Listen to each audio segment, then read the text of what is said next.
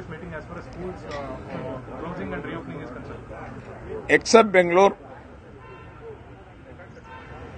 the decision to close the schools will be taken as a school as a unit. DC with the consultation of AC, Tahsildar, THO and BO has to take the decision to whether to close or continue of the schools.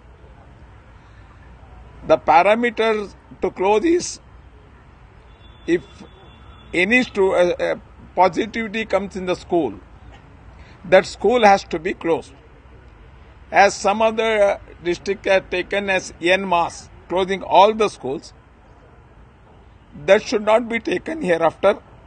Individual school as a unit, they have to take a decision on the positivity of the students. So what about, uh, especially in Bangalore and Mysore, the schools are closed. So is there is any uh, idea of re- reopening it and uh, how is the positivity rate so? Bangalore, as uh, we have taken the decision early itself up to 29th, that decision will be continued. Anyhow, we are going to review in the next week and we will decide further. What about uh, uh, other districts? Other district, we have said we are going to tell DCs to consider a school as a unit and then they have to decide, not uh, district as a whole.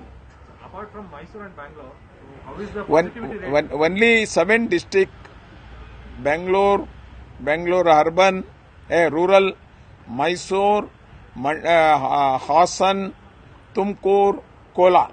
These are the districts where the percentage of positivity even among the other people and the students are high. Other districts, the percentage of positivity is very, very low. So, uh, the uh, uh, DCs can take the decision consulting on the taluk uh, team.